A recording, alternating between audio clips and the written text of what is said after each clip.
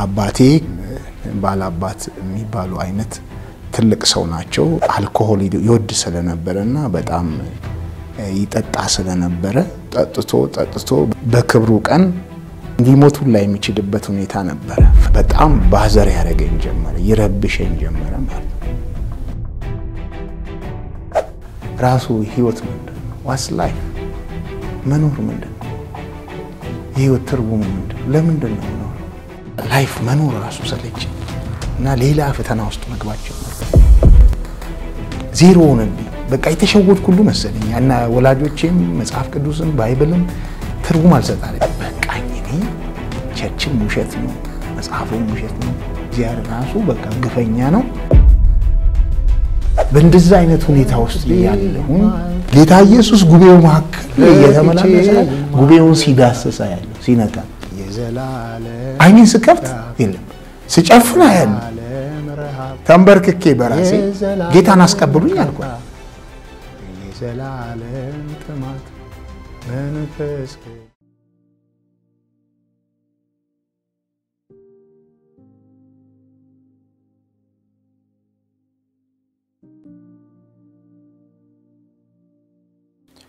እኔ እንግዲህ ስሜ ዮሐንስ ግርማ ይባላል። በአገልግሎት ዘጸአት Apostolic Reformation Church የሚባል በዋናነት በ worship team እና በወርሺፕ ቲሙ በኳየሩ በዘጸአት choir የሚታወቅ ቤተ ክርስቲያን መስራችና ራዕይ መሪ ነኝ ማለት ነው እና ሌሎች ኃላፊነቶችም በአብያተ ክርስቲያናት ውስጥ አሉኝ። የኢትዮጵያ ወንጌላውያን አብያተ ክርስቲያናት ህብረት active board አባል ነኝ። አሁን ደግሞም በቅርብ ጊዜ የተቋቋመው የኢትዮጵያ ወንጌላውያን የኢትዮጵያ የወንጌል አማኞች አብያተ ክርስቲያናት council vice president ሆኜ የኢትዮጵያን አብያተ ክርስቲያናትን አገለግላለሁ ማለት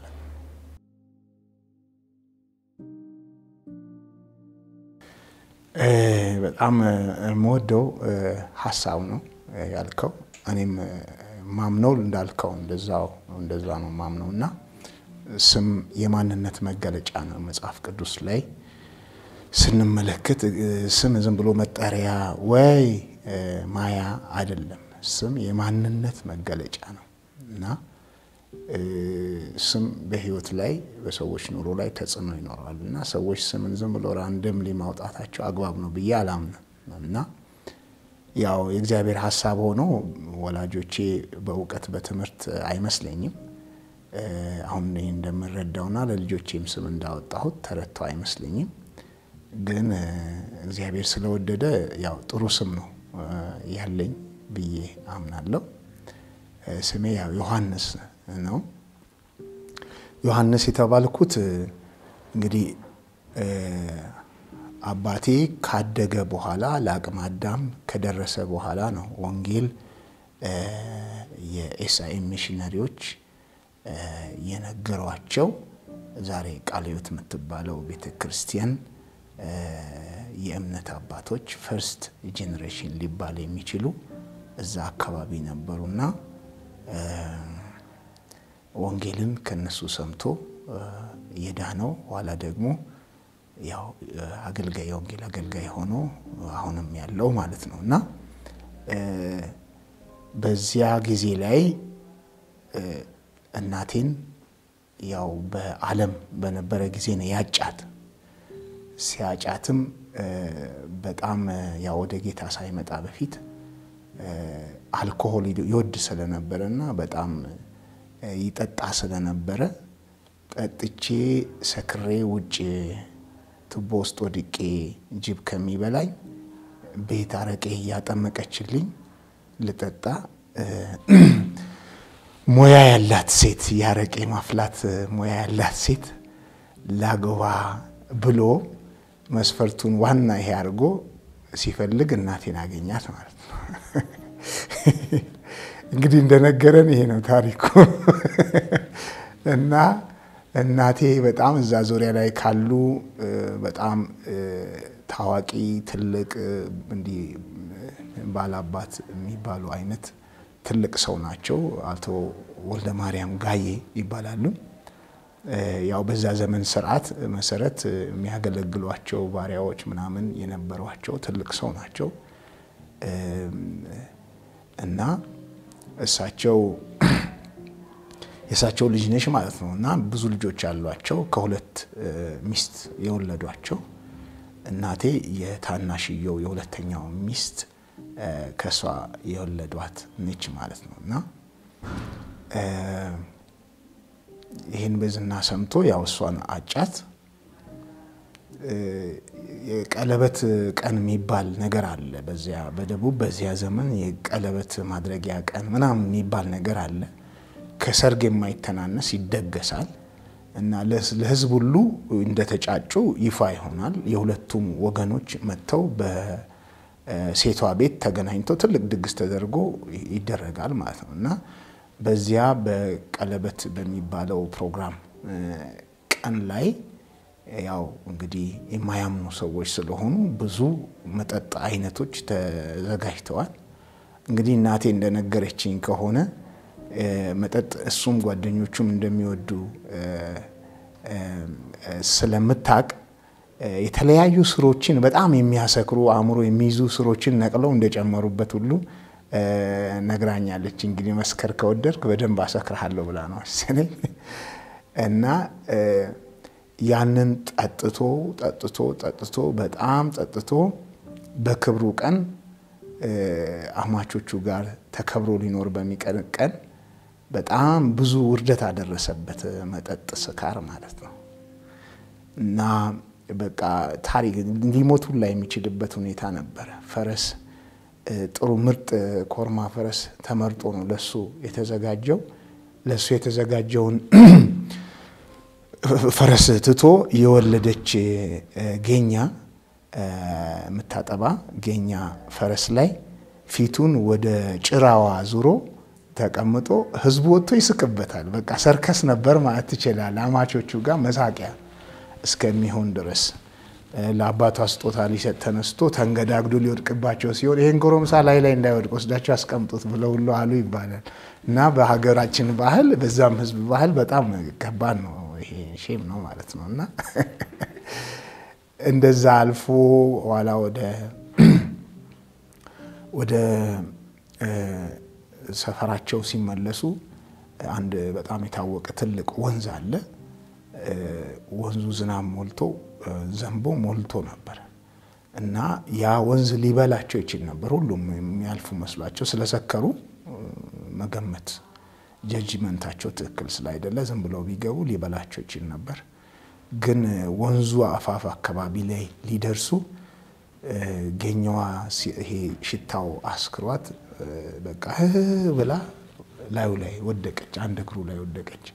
እሱን እናነሳለን ሲሉ ምድረ ሰካራም ሚዜዎቹና ጓደኞቹ ከዝኖቹ ምናምን ያጎቶቹ ልጆች ምናምን እነሱም ላዩ ላይ እየወደቁ አንዱ አንዱን እያፈነ ሽታው በጣም እንትን ትንፋሽ ሲያጡ አንዱ አንዱ ላይ እየተፋ አንዱ አንዱ ላይ እየተፋ ኋላ ያው እዛ አካባቢ ያሉ ሰዎች መጥተው ያው ጎትተዋቸው ያላቸውን ንብረት በሙሉ ዘርፈው ግን ነፍሳቸውን አዳኑላቸው ማለት ነው። እና በዚህ አይነት ሁኔታ አልፎ ለተወሰኑ ጊዜያት ታሞ ነበረ።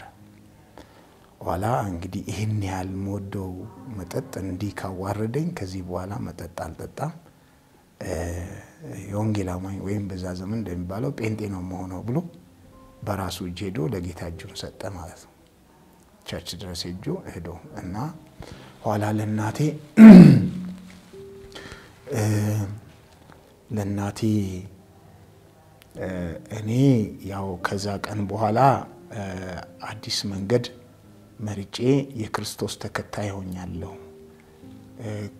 የጀመርነው ነገር ሊቀጥል የሚችለው አንቺም በዚህ መንገድ ከገባሽ ብቻ ነው። ካልሆነ የሚሆንሽን ፈልጊ። anymore ስካር አልፈልግም፣ በክርስቶስ ሆኜ ነው መኖር የምፈልገው ብሎ አላት። ከዛ እሷም እንደውም ይሄ ሃይማኖት በዛ ሀገር ኒክኔም አለ የሚጠራበት በዛ ሀገር ቋንቋ ኢየሱስ መና ይባላል። የኢየሱስ ሰዎች ማለት ነው። እና ኢየሱስ መናዎች እንደውም ለሚስቶቻቸው ጥሩ ናቸው፣ ይወዷቸዋል፣ ይንከባከቧቸዋል፣ አይደበድቧቸውም፣ ሚስቶቻቸውን አቢዩዝ አያረጓቸውም። እዚህ ለሚስት እንደውም ጥሩ ፍትህ የሚያሰፍን እኩልነትን የሚያመጣ ሃይማኖት ስለሆነ ባሎች ሚስቶቻቸውን ያግዛሉ፣ በቤት ይረዳሉ። እንደ አባወራ ዝም ብለው ጋቢ ለብሰው አይቀመጡም። ማዘዝ ብቻ መደብደብ ምናምን አይሆንም። ይህን አይቻለሁኝና ለእኔ እንደውም ጥሩ ነው እንኳን ሆንክልኝ አለች። ይቀበላለሁ አለች። ኋላ ያው ከቸር ሽማግሌዎች ጋር ተመካክረው አባቷ ቤት እሷን ጌታ እንዲያስቀብሉ ሽማግሌዎች ተላኩ ማለት ነው። ኋላ ያው ለአባቷ ተነገራቸው። እንደዚህ convert ልትሆን ወደ ሌላ እምነት ሲባል እንግዲህ እሷ ካገባሽ በኋላ ኑሯ ኑሮዋ ነው፣ ሃይማኖቷ ሃይማኖቷ ነው፣ ህዝቧም ህዝቧ ነው የሚሆነው፣ ቤቷም ቤቷ ነው የሚሆነው። anymore በእኔ ቁጥጥር ስር አይደለችም። እሷ ከፈለገችና ከመረጠች መብቷ ነው ብሎ አባቷም አሉ። በኋላ እዛው ጌታን አስቀብለው መጡ ማለት ነው። እዛ ደህንነት ተምራ እንግዲህ በትዳር ውስጥ ነው የተጠመቀችው ማለት ነው እና በዛ ውስጥ ያው አባቴ ወንጌልን ተምሮ በጣም ጎበዝ ተማሪ ነው። ጥሩ ሰቃይ ተማሪ ነበረ። ተምሮ አካዴሚክ ትምህርትም ወንጌልንም ደህንነትንም ተምሮ ጨርሶ ተጠምቆ አካዴሚክ ትምህርት ያው የዛን ጊዜ ብዙም ምድሪቱ ላይ ብዙ ያልተስፋፋ ስለሆነ ትምህርት ያስተምራል። እሱ ከበታች ያሉትን ደግሞ ያስተምራል ማለት ነው እና ወንጌልም ይሰብካል ማለት ነው። ስለዚህ SIM missionary ዎች missionary ሆኖ ከእነሱ ጋር አብሮ ትምህርት እንዲያስተምር ወንጌልም እንዲሰራ ወደ አሰብ ወሰዱት ማለት ነው። አሰብ ያን ጊዜ ያው የኢትዮጵያ ግዛት ስለነበረ አሰብ ወሰዱት።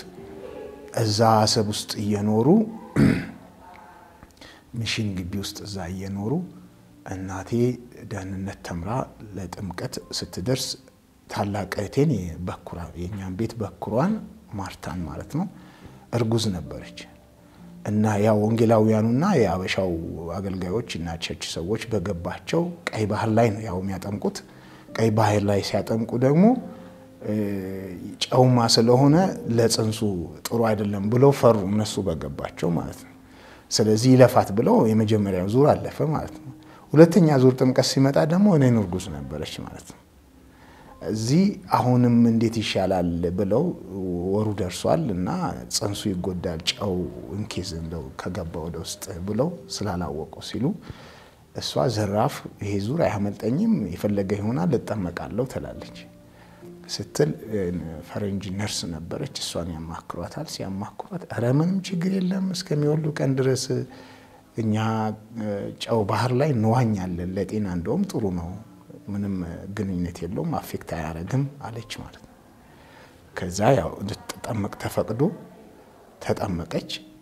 ያው ከጊዜያት በኋላ እኔ ተወለድኩ በጤና ማለት ነው። ስለዚህ አባቴ ጓደኛ አለው ሁሴን የሱፍ የሚባል ያው ሕይወት ቤተክርስቲያን ውስጥ አብረው የሚያገለግሉ አሁን ሁለቱም ጡረታ ወጥተዋል። ዛሬም ሁለቱም በሕይወት አሉ። እሱ GBI Grace Bible Institute የሚባል ጅማ ነበረ የሚኖረው ማለት ለትምህርት ሄዶ Bible ቴዎሎጂ እየተማረ ነበረ። ያው ደውሎ እናቴ ወይዘሮ ደመቀች ነች፣ ወይዘሮ ደመቀች በሰላም ወንድ ልጅ ተገላግላለች ብሎ አባቴ ይነግረዋል ለጓደኛው። ሲነግረው እሱ የደሴ ሰው ነው አቶ ሁሴን ዮሴፍ በጣም ደስ ብሎት ኧረ ተው በሰላም ተቀላቅላ ወንድ ልጅ ወለደች። አዎ በቃ እንግዲህ ያው የጥምቀቱን ነገር አስታውሶ ያን ግብ ግቡን አስታውሶ በቃ እንግዲህ ያው ስሙ መጥምቁ ዮሐንስ ሲባል ከዛ ስሜ ዮሐንስ ሆነ ማለት ነው። እዚህ ያኛው የመጀመሪያው መጥምቁ ዮሐንስ የመጀመሪያውን የክርስቶስን በስጋ መምጣት ያበሰረ መንገድ ጠራጊ ነበረ። ይሄኛው ዮሐንስ ደግሞ የሁለተኛውን ምጽአት መንገድ ጠራጊ ነው ማለት ነው። ስለዚህ prophetic ስም ነው ያለ። እኔ ክርስቲያን ቤት ነው ተወልጄ ያደግኩት። ወላጆቼ አገልጋዮች ናቸው፣ የወንጌል አገልጋዮች ናቸው። የህይወት ዘመናቸውን በሙሉ እኔ ሳውቅ ያው ወንጌል አገልጋዮች ሆነው church ውስጥ ትላልቅ position በሀገር አቀፍ ደረጃ መሪዎች ሆነው ነው ያገኘው ስወለድም ማለት ነው። እና church environment ውስጥ ነው ያደግኩት ማለት ነው።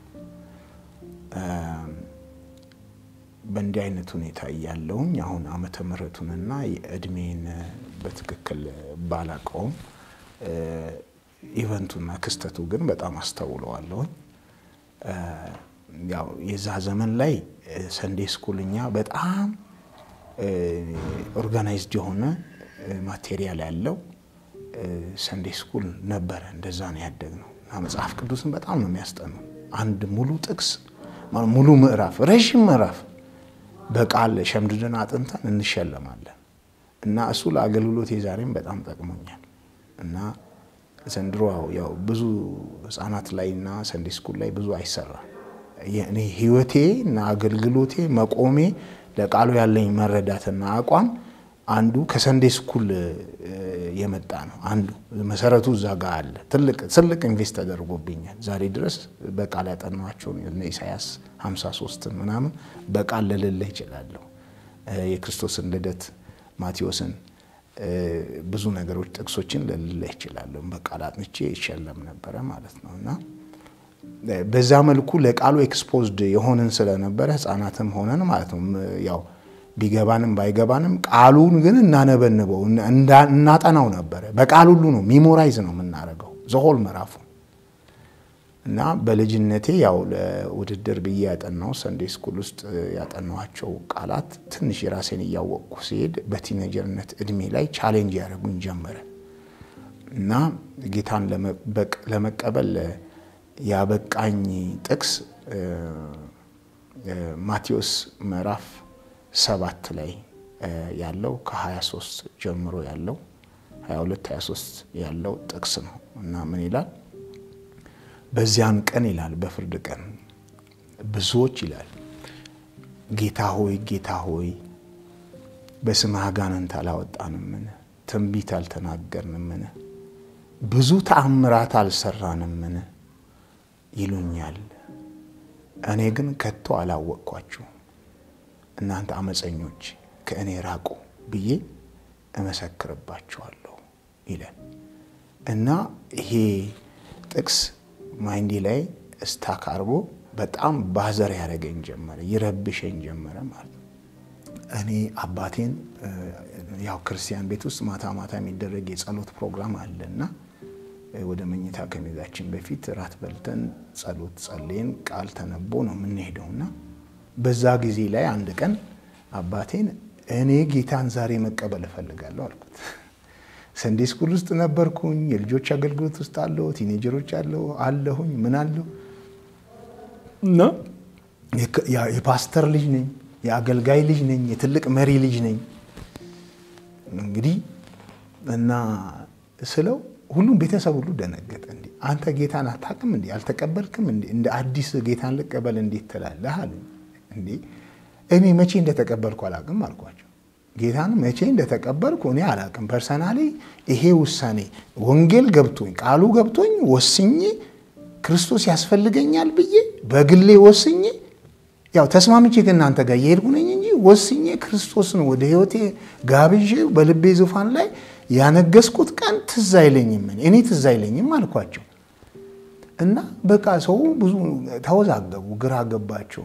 እረ ተቀብለሃል እንዴ እንዴ እንደዚህ risk መውሰድን ያልፈልግም አልኳችሁ እኮ እዛ ስደርስ አላቅህም ቢባልስ ማቴዎስ 7 23 ቢፈጸምብኝስ እኔ ከዚህ በፊት ተቀብዬ እንኳን ቢሆን ምን ችግር አለው? dose ኡ አይበዛ። እኔ በቃ ዛሬ እንደገና ቃል ኪዳኔን ማደስ እፈልጋለሁ ገብቶኝ። ስለዚህ ይፈቀድልኝ፣ ጌታን አስቀብሉኝ አልኳቸው። ከዛ በጣም weird ነበረ። ሁሉም ግራ ገብቷቸዋል። ቃሉን ሳነብ ግን እውነትህን ነው አሉ። ከዛ በዛ መረዳት ማለቴ ሲገባቸው ተመቻቸው። ተንበርክኬ በራሴ በግድ ጌታን ተቀበልኩ። ጌታን አስቀብሉኝ ብዬ በግድ በገባኝ ቃል ላይ ቆሜ እጄን አንስቼ ተንበርክኬ ተንበርክክ ሳይባል ተንበርክኬ ከዛ አባቴ ያው የቃል ኪዳን ጸሎት normally traditionally ያው ጌታ የሚቀበሉ ሰዎች የሚሉትን እያስባለኝ እኔም እያልኩኝ ድሮም ተቃውሞ የለኝም፣ ግን personally በአፌ ነው በደጅ ቆሜ አንኳኳለሁ። ማንም ድምፄን ቢሰማ ደጁንም ቢከፍትልኝ ወደ እርሱ እገባለሁ ነው አይደለም የሚለው። ከእርሱም ጋር ራት እበላለሁ ይላል። fellowship ማለት ነው እና by the way ይህንን የሚለው ላልዳኑት አይደለም ከሰባቷ ቤተክርስቲያናት ለአንዷ ነው እና ውስጡ አልገባም ውጭ ነው ያለው ማለት ነው እና አንዳንድ ጊዜ እንደዛ አይነት ነገር ይኖራል። ሆነ የእሱ ሆነ ግን አይደለህም። እዛው ቤት ውስጥ አድገህ ግን ጠፍተሃል። እንደዚህ አለ የአገልጋይም ልጅ ሆነ እና ብዙ ነገር ስላለ ያው ያንን እንትን አልኩኝ። ጌታን የዛን ቀን ተቀበልኩኝ። ያ ማለት teenager ነት እድሜ ላይ ነው ማለት ነው። በዚህ መልኩ ነው ጌታን የተቀበልኩት።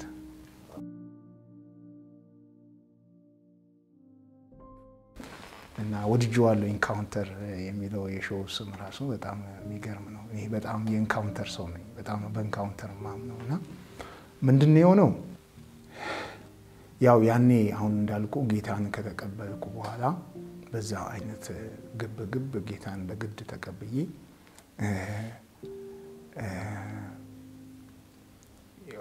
አደግኩኝ። ለትምህርት ለተሻለ ትምህርት ተብሎ ወደ አዲስ አበባ ያኔ ክፍለ ሀገር ሆሳዕና ነው ይኖር ነው። አሁን ወደ አዲስ አበባ መጣሁኝ ማለት ነው። ከዛ በአመቱ ቤተሰቤም አባቴ ተዛውሮ ወደ ቃለ ሕይወት ዋና ጽሕፈት ቤት ለስራ እዚህ በሀገር አቀፍ ደረጃ እንዲሰራ ተዛውሮ ወደዚህ መጣ። ቤተሰቤም መጣ ማለት ነው። እዛ እዚህ እየኖርን ያው በትምህርትም በስራ ምክንያት ለውጭ ዓለም exposed ስሆን ስጋለጥ ብዙ challenge ኦች በህይወቴ ላይ የመጡ ነበረ። ያው በፊት የነበርኩት እኔ mission ግቢ ውስጥ ነው የምንኖረው።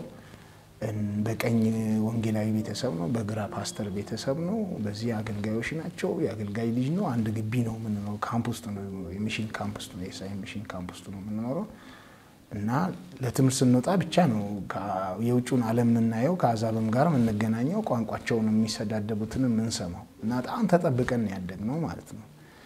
ግን አሁን እዚህ ከመጣሁኝ በኋላ መንደር የትኛውን ሰፈር ውስጥ ቤት ሰርተን ነው የምንኖረው።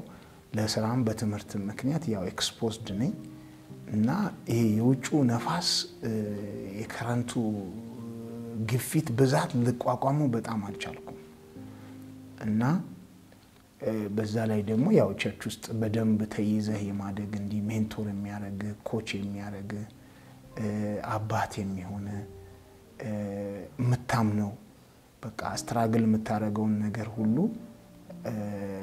ራስህን ሆነ በፊቱ የምትቆምበት ራቁትህን በቃ እንዳለህ እንደዛው ሳትሸፋፍን የምትቆምበት መንፈሳዊ አባት የሌለ environment ውስጥ ነው ሁላችንም ያደግነው። እኔ አሁን ለዘጸአት ትውልድ መንፈሳዊ አባታቸው ነኝ። ለዛ ነው የሚያዩ እና እንዴት ታድለው ላለው እኔ እኔ ራሴ ለነሱ ያለኝን ልብ እያየውና በእኔና በአገልግሎቴ ምን ያህል እንደሚጠቀሙ cover እንዴት እንደመሆናቸው እና ምን ያህልም እንደተጠቀሙ ሳይ እኔ ቀናለሁ። እኔ እንደዚህ በዚህ ደረጃ intentionally ጥሪ ኖሮት ኃላፊነቱን ወስዶ በእርግጥ ያው አባቶች አሉ፣ መሪዎች አሉ፣ አገልጋዮች አሉ። ግን እኔ በምልህ term ተረድተው personally በህይወቴ ላይ ያው በስጋ የወለደኝ አባት ነው መንፈሳዊም አባት ሆኖ ያው by default ያሳደገኝ እንጂ ለእኔ ይሄ ነው የምለው መንፈሳዊ አባትና ፓስተር የሚከታተለኝ ሰው አልነበረኝም። ያው መሪዎች አሉ፣ የ church ሽማግሌዎች አሉ። ከዛ የ church ኡ pastor አለ። ፓስተርም አልነበረም፣ ወንጌላዊ አለ። ወንጌላዊ ያው የሚሰራውን ይሰራል። ያው በቃ እንደዛ ነው ያደግነው ማለት ነው። እና ግን ህይወት ከዛ የበለጠ ትውልድ ዘመኑ attention የሚጠይቅ ዘመን ነው ብዬ አምናለሁ። እና እንደዛ አይነት environment አልነበረም ያደግኩት ማለት ነው። ስለዚህ ብዙ ግራ የሚያጋቡኝ እድሜና ዘመን የሚያመጣቸው ጥያቄዎች ስለነበሩ confused ሆን ነበረ። ራሱ ህይወት ምንድን ነው? what's life መኖር ምንድን ነው? የህይወት ትርጉሙ ምንድን ነው? ለምንድን ነው የምኖረው? በቃ ተወለድኩ፣ አደግኩ፣ ተማርኩ፣ ተመረቅኩ፣ ተቀጠርኩ፣ ሰራው፣ አገኘው፣ ሸመትኩ፣ በላው፣ ጠጣው፣ የውሃ መብራት ቢል ከፈልኩ፣ አረጀሁ፣ ሞትኩ። በቃ ይሄ ነው መኖር። ለምን የምድር ህይወት ከዛ የበለጠ ምንም ነገር የሚጨምረው ነገር የለም። የተሻለ የሚበላና ተቸግሮ የሚበላ በቀን አንድ የሚበላው አጣና በቀን ብዙ የሚበላ ጮማ የሚበላ እንጂ ምንም ያው ነው። ሰመራዊ ስታደርገው የሰው ህይወት አሁን ካልኩ ያለፈ አይደለም። ከዚህ ይሄ የፈጠረኝ እግዚአብሔር ከሆነ እንዴት በቀን ሶስት ጊዜ በልቼ እንድሞት ይፈጥረኛል? ብማርም ለዛው ነው፣ ብመረቅም ለዛው ነው። ያለ PhD ብሆንም ምንም ያው ሰው ብዙ እንትን ሊያራቅቀው ይችላል። deeply ስታስብ ግን ከዚህ ያለፈ አይደለም። እንደውም ትምህርት ቤት ስንማር ምንድን ነው የህይወት basic need ኦች የሰው የህይወት basic need ልብስ፣ ምግብ፣ መጠለያ ነው አይደል የተባለው። ህይወት በዚህ ዙሪያ ነው evolve የሚያደርገው የምድር ህይወት ማለት ነው። እግዚአብሔር ግን ሰውን ለልብስ አልፈጠረም። ሰው ሲኖር ግን ልብስ ያስፈልገዋል። እግዚአብሔር ለምግብ ሰውን አልፈጠረ ለእንጀራ አልፈጠረኝም። እኔ ስብዕናዬ፣ ዲግኒቲዬ፣ ክብሬ በእግዚአብሔር አምሳል መፈጠሬ ማንነቴ ከምበላው እንጀራ ይበልጣል። እኔ ሰው እንጀራ ንጉስ ነው ከእንጀራ ትነሱ። ድሃ ሀገር ስለተወለድን ነው እንጀራ ንጉስ ነው የምንለው እንጂ እንጀራ አይደለም። እኔ ነኝ ንጉስ። እንጀራ ለእኔ እንጂ እኔ ለእንጀራ አይደለሁ። እኔ ነኝ ንጉስ፣ አንተ ነህ ንጉስ፣ እንጀራ አይደለም። ያው ድህነት ያመጣው ቋንቋ ነው ነው ብዬ የምለው እና ለምን በእግዚአብሔር አምሳል የተፈጠርኩ እኔ ነኝ። እንዴት ሆኖ ነው ጤፍ ንጉስ የሚሆነው? ሳር በእግዚአብሔር አምሳል የተፈጠርኩ በፍጥረት ሁሉ ላይ በሁሉ ላይ ገዢ አድርገው የሾመኝ እኔ ነኝ ንጉስ እንጂ እንዴት አድርጎ ነው እንጀራ ንጉስ የሚሆነው? እና ይሄ የድህነት የፈጠረው ቋንቋ ነው፣ ችግር ነው። ሰው ክቡር ነው። ሰው ክቡር ነው። በእግዚአብሔር አምሳል የተፈጠረ በሁሉ ላይ የተሾመ ሰው ክቡር ነው። ሁሉ ያልፋል፣ ሳሩም ቅጠሉም ያልፋል። እግዚአብሔርን ፈቃድ የሚያደርጉ ግን ለዘላለም ይኖራሉ። ክርስቶስ የሞተው ለእንጀራ አይደለም፣ ለአንተና ነው። መቼም ይሄን አላስረዳ የሚገባልና እና ይሄ ነገር በርቶልኝ በጣም ነው ባዘር የሚያደርገኝ። ስኖር ቤት ያስፈልገኝ፣ ግን እኔ እግዚአብሔር ባለቤት ለመሆን ደፋ ቀና ብዬ ደሜን ረጭቼ ባለቤት ባለቤት ለመሆን ባለ መኪና ለመሆን የሆነች ሚስት ባል፣ የሆኑ ልጆች አባት፣ የሆኑ ሰዎች ጎረቤት፣ የሆነ ሀገር ዜጋ፣ የሆነ መስሪያ ቤት ባልደረባ ሆኜ በልቼ ጠጥቼ አምሽቼ አንግቼ የውሃ መብራት ቢል ከፍዬ አርጅቼ ሞትኩ። መቼ ኖረ ነው የምትሞተው? what is life there must be more ብሎ ህይወቴን በጣም ይረብሸኝ ነበር በዛ ጊዜ ማለት ነው። ለዚህ ትክክለኛው መልስ ማግኘት ስላልቻልኩ በቃ life መኖር ራሱ ሰለች እና ሌላ ፈተና ውስጥ መግባት ጀመርኩ ማለት ዜሮ ሆነብኝ። በቃ የተሸወድኩ ሁሉ መሰለኝ እና ወላጆቼም መጽሐፍ ቅዱስም Bible ም ትርጉም አልሰጣለኝ። ለምን? በጣም ብዙ ግብዝነት አለ church ውስጥ በጣም ብዙ ግብዝነት። መጽሐፉ የሚለው ሌላ የሚኖረው ሌላ አያለሁ። fight ኡን አያለሁ። መባላቱን፣ መከፋፈሉን፣ አድማውን፣ ተንኮሉን አያለሁ ትላልቅ በሚባሉት ዘንድ እኔ አገልጋይ ልጅ ነኝ፣ የመሪ ልጅ ነኝ። በጣም የሚገርም ጨዋ የሆነ እግዚአብሔርን ክርስቶስን የሚያከብር የሚወድ አባት ነው ወልዶ ያሳደገኝ። ኃይለኛ የአምልኮ ሰው ነው፣ ሰው ነው ያሳደገኝ ሰው እና በማድግበት environment ግን church ውስጥ ብዙ ፖለቲካ አይቻለሁ እና በጥቂቱም ቢሆን victim ነኝ እኔ ራሴ ደርሶብኛል። መንፈሳዊ ለመሆን ስንጥር ራሱ ጥርጥር፣ ክትትል ምናምን በቃ ጥብቅ ያለ ቢሮክራሲው፣ ፖለቲካው አሰለቸኝ። ወዴት ልሂድ ቸገረኝ፣ ግራ ገባኝ እና ትልቅ ጥላቻ ውስጥ መፈጠር ጀመረ። ለ church፣ ለአገልጋዮች፣ ለመሪዎች፣ ለሽማግሌ ለሚባሉ ጥላቻ ውስጥ ይፈጠራል። murderer ይመስሉኛል። ትንሽ የምንጽናናባቸው revived የሆኑ ፕሮግራሞች ጀምረን ለመቅረብ እየሞከርን ጌታ የሆነ ነገር እያደረገ ደስ ይለና በዛ ዙሪያ ስንሰባሰብ በቃ በዛ ተስፋ እያደረግን ኃይል ከዛ እየተቀበልን ውጭ ያለውን ትግል ደግሞ ለመቅጠም እንሄድ ነበር። አይ እነዚህ ወጣቶች ፕሮግራሙ በጣም አደገ፣ በዛ አገልጋይ እንትንን እየጠሩ ማን ነው ምንድን ነው የሚመጡና ትንሽ ነፍስ እንትን ቁጥጥር ምናምን እያደረጉ እስከሚጠና ድረስ ይቁም ብለው በመከራ ተጀምሮ ያደገን ፕሮግራም ጉባኤውን ወጣቱ ወደ ዓለም ምን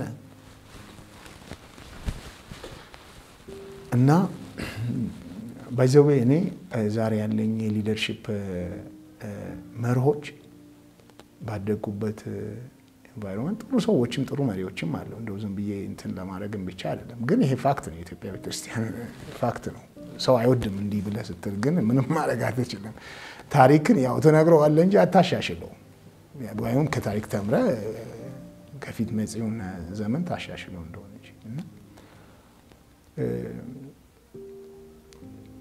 አንዳንዴ ከአንዳንድ leadership እና አመራር እንደነሱ አለመሆንን ትማራለህ። እኔ እንደዛ ተምሬያለሁ። ከአንዳንድ መሪዎች ከአንዳንድ አገልጋዮች እንደነሱ አይነት መሪ አለመሆንን የተማርኩት። እኔ reverse አድርጌ ነው የማደርገው። አሁን ለወጣቶቹ በጣም እንደሚመቻቸው እርግጠኛ ነኝ። ለዘጸአት ትውልድ ማለት ነው። ይህንንም ሾው ስለሚከታተሉ ብዋሽ ይሞግቱኛል። ትክክል አይደለም፣ ዋሸ ፓስተራችን ይላሉ።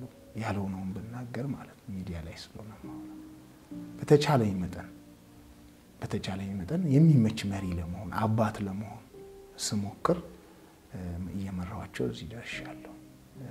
እየተጎዳሁም ቢሆን አንዳንድ ጊዜ ማለት ነው እና በእንደዛ አይነት ሁኔታ ውስጥ እያለሁኝ በቃኝ እኔ ቸርችም ውሸት ነው፣ መጽሐፉም ውሸት ነው፣ ወላጆቻችንም በየዋህነት መስሏቸው ነው፣ ተሸውደናል ሁላችንም፣ ህይወትም ትርጉም የለውም። በቃ እኔ እግዚአብሔር ተምሬ ተመርቄ ስራ ይዤ በልቼ ጠጥቼ ለብሼ የውሃ መብራት ቢል ከፍዬ ባለመኪና ባለቤት ሆኜ እንድሞት ከሆነ የፈጠረኝ እግዚአብሔር ራሱ በቃ ግፈኛ ነው። በቃ ምን ልበል፣ አንዳንድ ጊዜ በቃ እግዚአብሔር የለ ምንም አልቀረኝም። እግዚአብሔር እግዚአብሔር የለት ለማለት ምንም አልቀረኝም እና እንደዛ ውስጥ ሆኜ ባለውበት ኮንፊውዥን ጊዜ ላይ በቃ እኔ ወደ ዓለም ገብቼ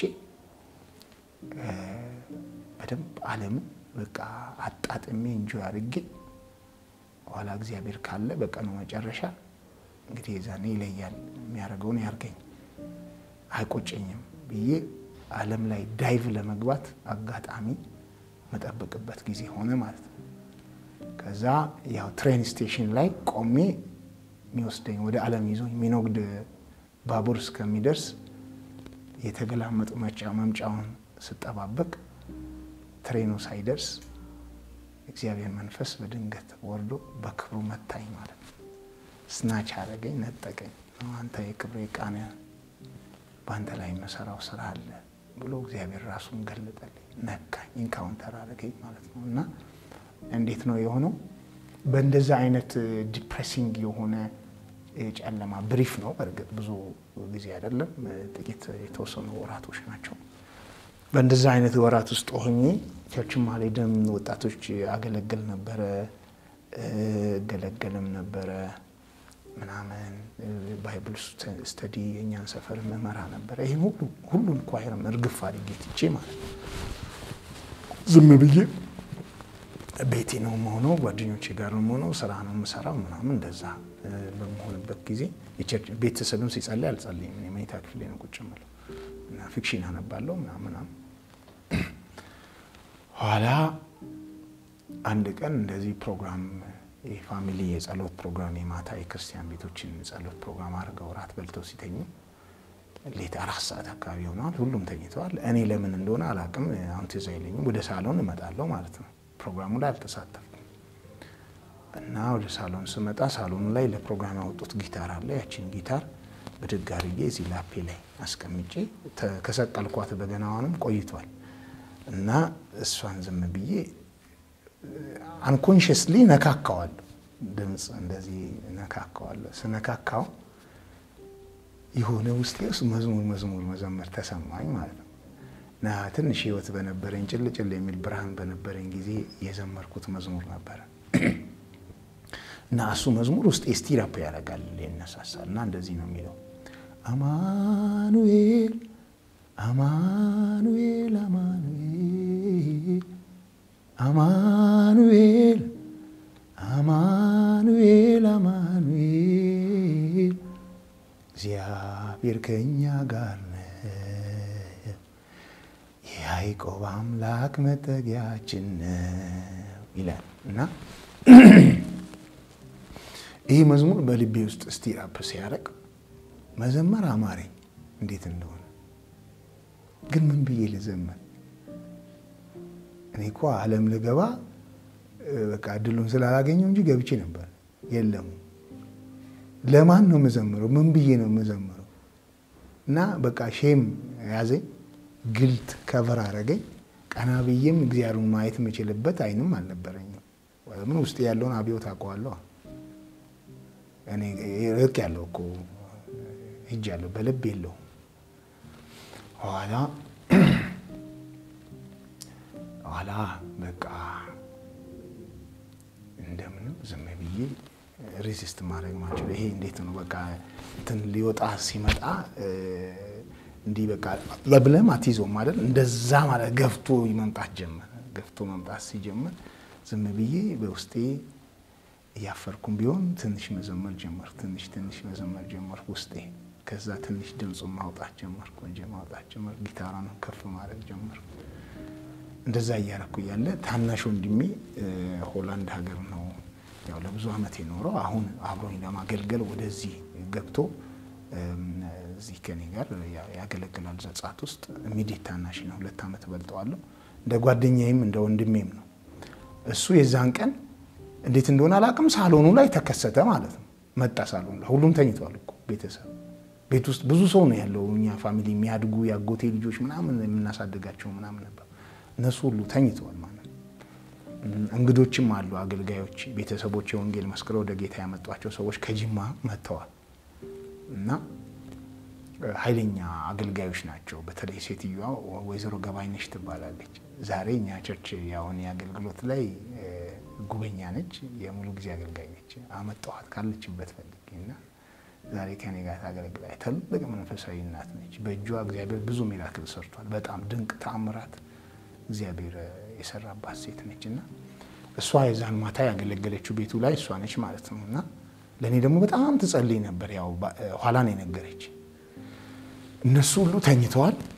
ኋላ brother ተከሰተ እና እኔ ስዘምር እሱም ይዘምራል። ዝም ብሎ ቆሞ መድረኩ እንደዚህ የተመላለሰ ቀን ይዘምራል። እኛ ባደግንበት church environment ውስጥ እንደዚህ አይነት ነገር የለም።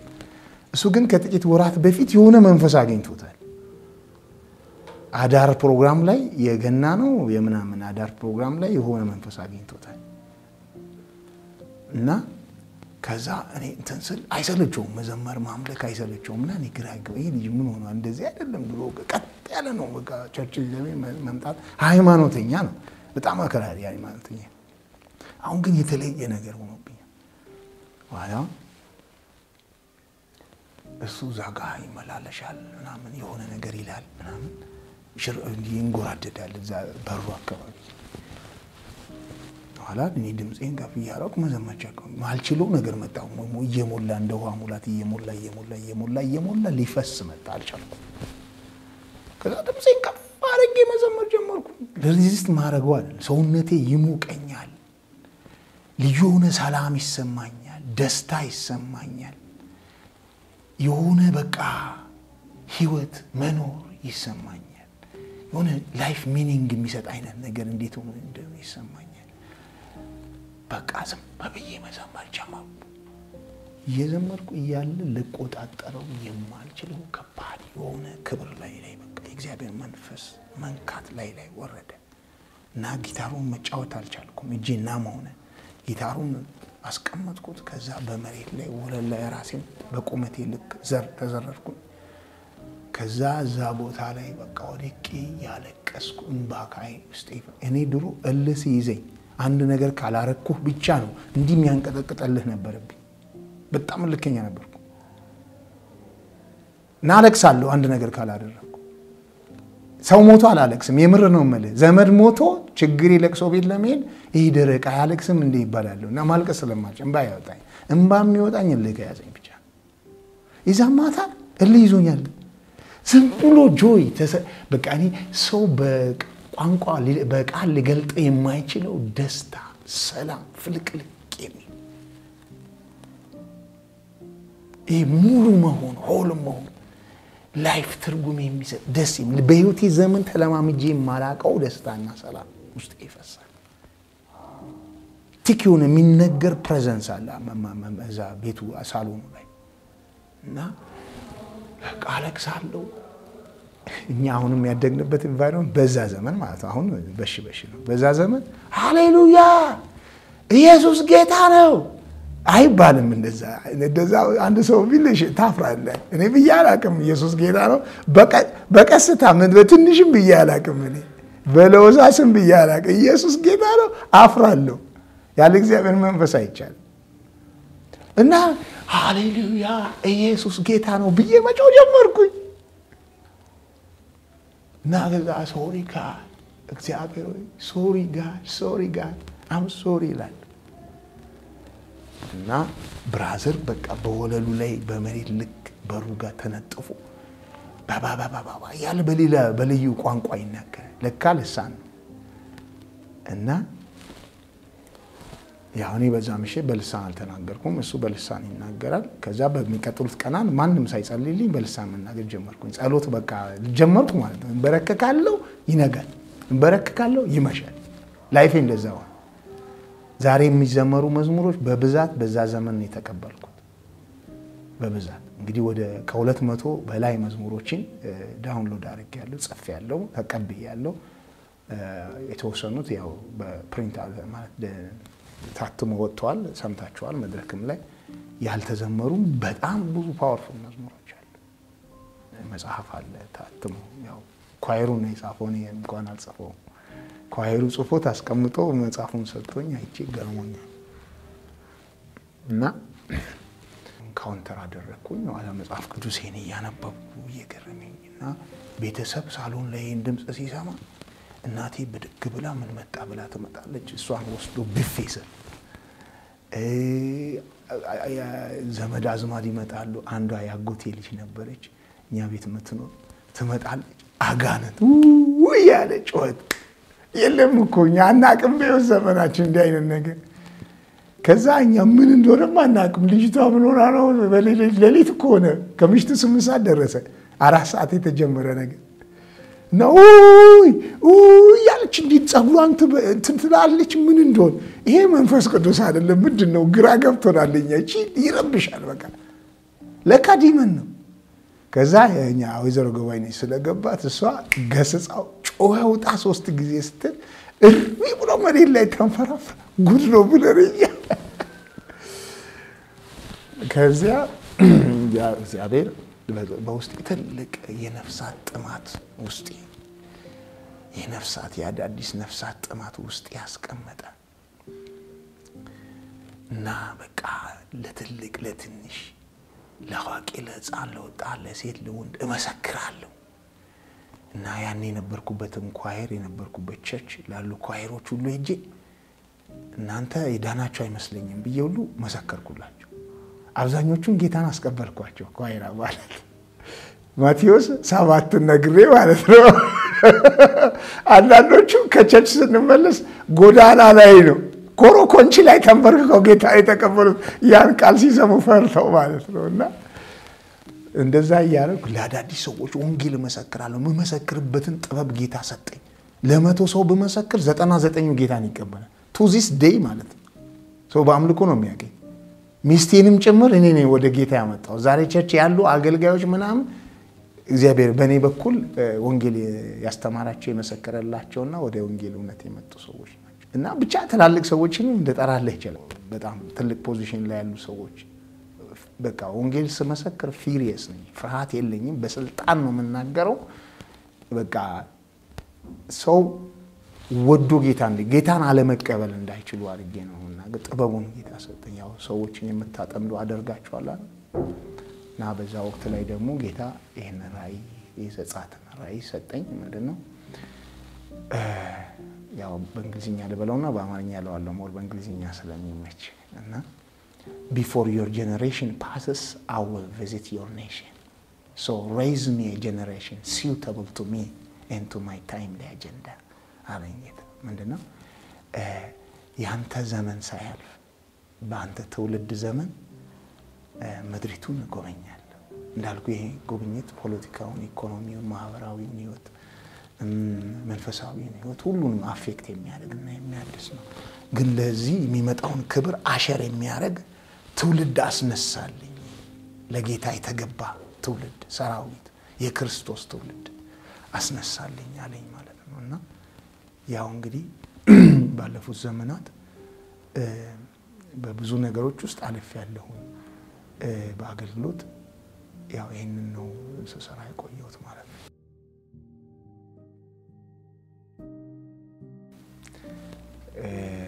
በዘጸአት አገልግሎት አምልኮ ብዙ የእግዚአብሔርን እጅና የእግዚአብሔርን ድንቅ ታምራት ያየንባቸው መድረኮች አሉ። ጥቂቶቹን ለመናገር ለምሳሌ አንዴ የሆነ ሚኒስትሪ ሜክሲኮ መብራት ኃይል አዳራሽ ላይ ኮንፍራንስ አዘጋጀና እኛን worship እንድንመራ ጠራን ማለት ነው። ከዛ እኔ ከ choir ኡ ጋር ሆኜ እዛ ወጥቼ worship እመራለሁ እና አንድ መዝሙር አለ እግዚአብሔርን ከፍ የሚያደርግ መዝሙርና እሱን እንዘምራለን። አዝማቹን ዘምሬ አንድ ቁጥር ዘመርንና ከዛ በኋላ በቃ የሆነ ምን እንደሆነ ሆነ ቤቱ ላይ ማለት ህዝቡ በአንድ ላይ በእግር ቆሞ ስንዘምር ቁጭ ብሎ ነው ስንጀምር የነበረው። ህዝቡ በአንድ ላይ በእግሩ ቆሟል።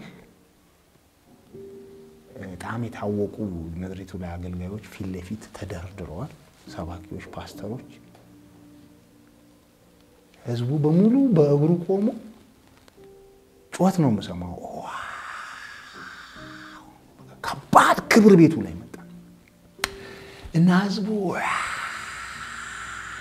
እያለ ይጮዋል። ሁሉም ይጮዋል። ዝም ብሎ ይጮዋል። ብንዘምርም ማይኩ ድምፅ ከፍ ቢልም አይሰማም። የእኛን ድምፅ የሚያጠፍ ድምፅ ነው ከህዝቡ የሚወጣው ድምፅ። ዝም ብሎ ጩኸት ነው። መዝሙር አይደለም የሚዘምሩት፣ አያውቁም መዝሙሩ። ግን ከባድ ነበረ። ስለ እግዚአብሔር ክብር የሚናገር ነበር። ልክ በቃ ስንዘምረው ያ ክብር መጣ አዳራሹ ቦምባርድ አደረገው ጉባኤው። ከዛ ህዝቡ ከአገልጋዮቹ አንዱ ፓስተር መድረክ ላይ ከበሮ ነበረ እና ወጥቶ ከበሮውን ፓስተር ዳንኤል የአማኑኤሉ ናዝሬት አማኑኤል እሱ ነበረ የዛኔ እሱ ከበሮ ነበረ። ከበሮውን ብድግ ብሎ ወጥቶ አልቻለም። በቃ ብድግ ብሎ ወጥቶ ከበሮውን ይዞ ከበሮውን ይደልቀዋል። እኛ እየዘመርን ከዛ በቃ ህዝቡ በአንድ እግር ቆሞ ይጮሃል እና እኔ አይኔን ጨፍኜ ስለሆነ የምዘምረው ብዙ ጊዜ distracted እንዳልሆን ምን እየሆነ እንዳለም አላውቅም። ሙዚቃውን ተጫውቼ የሚቀጥለውን አዝማች ከቁጥር አዝማች ዘምረን ቁጥር ከዛ ከቁጥር ወደ አዝማች ይገባሉ ብዬ ስል ኳይሩ ድምፁ አይሰማም። ኳይሩ የለም ብል የለም። እኔ ዝም ብዬ እዘምራለሁ፣ ድምፅ አይሰማኝም። እዛ ምን ሆነ ብዬ አይኔን ከፍቼ ሳይ አንደኛ ጉባኤው በሙሉ በእግሩ ቆሞ እየጮኸ ነው። ዞር ብዬ እንደ ሳይ ኳይሩ የለም፣ ሁሉም መሬት ላይ ተረፍርፏል። እኔ ብቻ ነኝ የቆምኩት። መሬት ላይ ተነጥፎ ኳይሩ የለም፣ በቃ የለም የለም። እና የዛን ቀን የነበረውን የእግዚአብሔርን ክብር እንዲህ የሚዳሰስ አይነት ክብር ነበረ። አረሰውም። ሌላ ጊዜ እንደዚሁ ገና ስንጀምር ነገር ነበረና አንድ ቦታ ላይ ሄደን እያገለገልን አንድ ጉባኤ ላይ እኛ ወደ እዛ ቸርች ስንሄድ ኳየሩ ልብሱ እንዲቀይርና ጉባኤው እስከሚሞላት እስከሚጸለይ እስከሚጋብዙን እንድናርፍ አንድ ክፍል ሰጡን ማለት ነው። እዛ ክፍል ደግሞ በጊዜው ላይ ከደሴ የመጣች ወንጌል አምና ተሰዳ ከደሴ የመጣች አንዲት ወጣት ልጅ ነበረች እና እግሯ ታሞ ይሄ በጣም እንዲህ አብጧል። ምን እንደሆነ አላቅም። ማጠፍም አትችልም። ከላይ እስከታች ድረስ አብጧል። እንዲህ በጣም ያስፈራል ስታየው ማለት ነው። አብጧል። ማጠፍም አትችልም። መንቀሳቀስም አትችልም። ሰው ነው የሚያስነሳት፣ ሽንት ቤት የሚወስዳት፣ የሚያስተኛት፣ የሚያገላበጣት ማለት እና እሷ ስለተሰደደች መቀመጫ መኖሪያ ቦታ ስላጣች እዛ ክፍል ቸርች ቢሮ እዛ ክፍል ነው የምታድረው። እሷን አንስተው ወስደው የሆነ ጉባኤ መካከል አስቀምጠዋት ያ ፕሮግራም ሊጀምር ስለሆነ ለእኛ ያ ክፍል ጸጥቶ የተሰጠው ከዚያ አምልኮ ጀመርን እና እየዘመርን እየዘመርን እያለ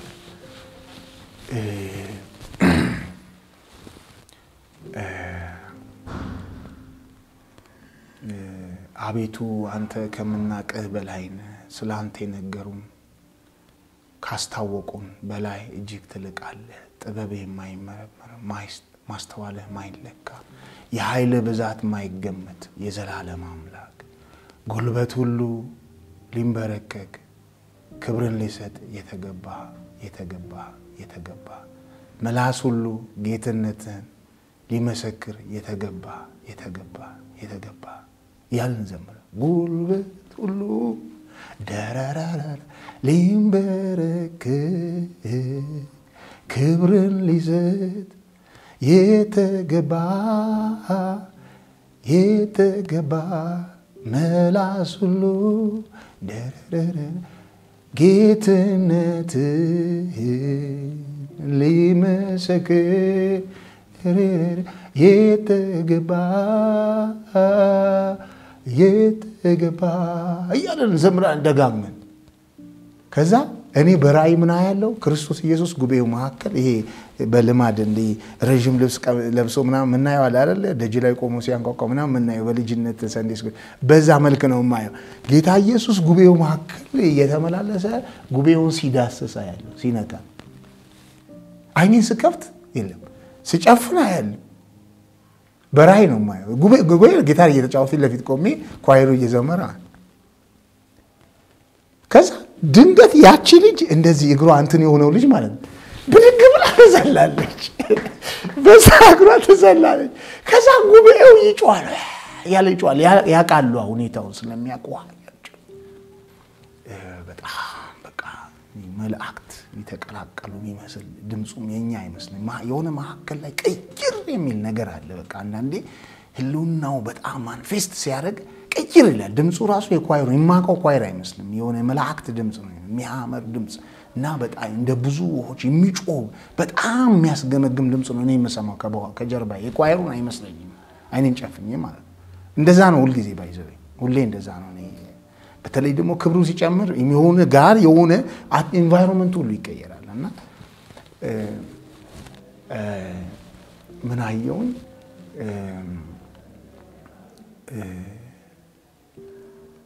ከጥንት ለነበርከው ዛሬም ላለኸው ለዘመንህ ወሰን መድረሻ ለሌለው አምልኮ ስግደት ስጦታ አድርገን ለከበርከው ጌታ ልንሰጥ ወደን ወንዶችና ሴቶችህ በዚህ ተሰብስበናል። ለከበርከው ጌታ ልንሰጥ ወደናል። ይብዛ ይብዛ ይብዛልህ ይላል። ከዛ ምስጋና ላንተ ነው፣ ክብርም ላንተ ነው፣ አምልኮ ላንተ ነው፣ ውዳሴ ላንተ ነው፣ መሰጠት ላንተ ነው፣ መኖርም ላንተ ነው ይላልና መጨረሻ ላይ ምስጋና ምስጋና ይላል። ሌሎቹ ይቀበላሉ። ወንዶቹ ሲጀምሩ ሴቶቹ ይሉና እዛ ወንዶቹ ይቀበላል። ምስጋና ምስጋና ምስጋና ምስጋና እያሉ እንትን እያሉ ያረዘሙት ይዘማል። ከዛ ዛሬም ዘላለም ይላል መጨረሻው ላይ እና ይሄ በሀይ ተደጋግሞ ነው የሚዘምረው ነው። በጣም ከፍ ይላል። ዳይናሚክሱ በጣም ይጨምራል። ፒኩ ላይ ሲደርስ የሆነ ነገር ነው የሚሆነው እና እንደዛ እያለን እየዘመርን በራእይ ምንድን ነው የማለው ዘሆል አፍሪካ እጅ ሆኖ ነው የማየው። ይህ ካርታው እጅ ሆኖ እጅ እንዲህ ተዘርግቶ እግዚአብሔርን አፍሪካ ስታከብር ስታመልክ ነው የማየው እና በሀገር ደረጃ በቃ ከባድ ከባድ በሆኑ ጊዜያት ላይ በቃ ምድራችንን አሰብ ከጥፋት ጠብቀን ጦርነቶች ውስጥ በብዙ ነገር አልፈናል። በቃ ጸልየን ብለን ሲያቅተን እኔ እሁድ ደርሶ ከጉባኤው ጋር መቼ ነው ጊታሬን ይዤ የምናመልከው እላለሁ። በቃ በጸሎት ድክም ሲለን በአምልኮ በቃ እና ባለፈው እንኳን በነበረው ጦርነት ላይ እግዚአብሔር ሰራዊቱ መቀሌ ሊገባ ነው ተብሎ ምንድን ነው ሊሆን የሚችለው? በጣም disaster ሊፈጠር ይችላል እና በጣም ትልቅ ጭንቀት ውስጥ ነበረ the whole ሀገሩ ማለት ነው። እና ትዝ ይለኛል እንደ ሮብ አይነት ቀን ነው በቃ ማምለክ አለብን ብለን በማዳን የበረታነ መድኃኒትን ታደርጋለህ፣ ሀሳብህ ሊከለከል የሚቋቋመም የለም። እኛም ይህን አይተን ተስፋ አደረግን፣ ከአንተ ዘንድ የሆነን መድኃኒት ጉብኝት ጠበቀን። ትደነቃለህ፣ ትላንት አይተንሃል፣ በብዙ ማዳንህ ደርሰህልን እዚያ ደርሰህናል እያለን መዘመር ጀመርን ማለት ወዲያውኑ ድምፅ መጣ። በቃ እግዚአብሔር ሰላም እንደሚሆን ማለት እና የኢትዮጵያን ባንዲራ አንዱ አገልጋይ እንዲህ እያውለበለበ መድረክ ላይ አለ። ያንን ትንቢት የመጣውን እግዚአብሔር ሰላም ይሆናል ያለውን ትንቢት ፕሮክሌም አደረግን ማለት ያንኑ ምሽት ሆኖ በሰላም በቃ ነገር ሁሉ እንትን ሆኖ መቀሌ ገቡ። ምንም ያለ ተኩስ ያለ ምናምን ያለ ምናምን ማለት ነው። በሰላም አንድም ሰው ሳይሞት ማለት ነው ተብሎ የተረጋጋ ነገሩ ተብሎ ተሰማን ማለት ነው። በጣም ጌታ ባረከን እንጂ ቦምባርድ ቢደረግ በመሳሪያ ቢመታ እንግዲህ ምን ያህል ውድመትና ሕዝብ ሊሞት እንደሚችል ይታያል። እኔ በሀገር ደረጃ ከባድ በሆኑ ወቅትና ጊዜያት በቃ ገደል ላይ አፋፍ ላይ ደርሰን በቃ እንጸልያለንም ግን ደግሞ በገናን ይዘን በቃ እንደ ዮሳፍጥ ስንዘምር እግዚአብሔር ከጥፋት ሲያድን አይተናል። መስቀል አደባባይ አሁን የተዘጋጀው በዛ ነው። እግዚአብሔር በአደባባይ ህዝብንና ሀገርን በሚወክል አደባባይ ላይ ስሜን ቀድሱ እሰማችኋለሁ ብሎን ነው ወጥተን ታሪካዊ የሆነውን ፕሮግራም እንግዲህ ወደ ሩብ ሚሊዮን የሚደርስ ህዝብ ነው የወጣው እና ታላቅ ነገር ነው የሆነው የዛኔ ማለት ነው። ምናልባት ከዚያ ያው በዘጠኙ ወር እግዚአብሔር በዘጠኝ ወር ፕሪቶሪያ የተደረገው peace deal ላይ ተደረገና ተደረሰና በድንገት peace deal ተደረገ የተባለ እና እኔ አሜሪካ ነበርኩ የዛን ጊዜ ማመን ነው የምር ነው ወይስ ተንኮል አለ? ጸልዬም ዘምሬም አብቅቼ መስቀል አደባባይ ፕሮግራም አዘጋጅቼ ለዚህ ማለት ከዛ እግዚአብሔር አለማመኔን ሊደግፍ ሲፈልግ አንዲት ከማገለግላቸው እዛ ሀገር ጉባኤ ውስጥ ከነበሩ ልጆች አንዷ አይገርምም፣ exactly የመስቀል አደባባይ ፕሮግራሙ ከተደረገ ዘጠኝ ወሩ ነው። በዘጠኝ ወር አርግዞ ነገሩ ተወለደ ስትል this is prophetic አልኩኝና ያው እኛ ታዘን እግዚአብሔር የሚለንን ማድረግ ብቻ ነው ያለብን። የሚለንን አድርገን ጌታ የሚያደርገው እንዲያደርግ መተው ነው ያለብን። ምናልባት ያን ፕሮግራም ባናደርግ ምን ሊሆን ይችል ነበር እዚህ ምድር ላይ? ኢትዮጵያውያን አብያተ ክርስቲያናት በሙሉ እንግዲህ ዘጸአት ብቻ አይደለም፣ እዛ ጋር ሙሉ አብያተ ክርስቲያናት ወጥተው ነው መሪዎች ወጥተው ነው እዛ እኛ ሚንስ ምክንያት ያዘጋጀ ነው እንጂ ለሁሉም ነው። ቤተ ክርስቲያን ወጥታ ነው የጸለየችው፣ ያመለከችው፣ ስሙን የቀደሰችው። መታዘዛችን የከለከለው ከዚህ የከፋ ጥፋት ሊኖር ይችላል ብዬ እና ጦርነቱን በዛ መልኩ ዘጠነኛ ወር ላይ እንዲቆም መስማማታቸው መንግስትና እዛ ያለው ኃይል ትልቅ ነገር ነው እና የበኩላችንን ብቻ በዚች ሀገር መቀጠል ጉዳይ ላይ በአምልኮ እነዛ መድረኮች ላይ በእንባ እያመለክን ጌታ ፊት ስሙን የቀደስንባቸው ቀናት ትልቅ ስራ እንደሰሩ አምናለሁ እና የሚያመልክ ትውልድ ባለበት ቦታ ላይ እግዚአብሔር ጣልቃ ይገባል ሁል ጊዜ። ለምን ስትሰብክና ስታስተምር ኦዲየንስህ ሰው ነው። ስታመልክ ግን ኦዲየንስህ ስላሴዎች ናቸው። ስሙን ነው የምትቀድሰው እና እግዚአብሔር የሚያመልክ ትውልድ ባለበት ደግሞ አንተ እኔን ታመልከኛለህ፣ እኔ እህልና ውሃን እባርካለሁ፣ ጨንገፋን ከመካከል አርቃለሁ፣ መቅሰፍት በምድርህ አይሆንም ያለ ጌታ በእውነት ስሙን ስንቀድስ እግዚአብሔር ይሰማል ብዬ ነው ማምነው እና የዘጸአት አምልኮ በትውልድ ላይ በቤተክርስቲያን ላይ በኢትዮጵያ ላይ ብዙ አስተዋጽኦ ያልተነገረ ብዙ ነገር እንዳለ አምናለሁ እና ስለዚህ ትውልድና ስለዚህ ቤተክርስቲያን ስለ መሪዎቹ ስለ ኳየሩ ጌታን አመሰግናለሁ።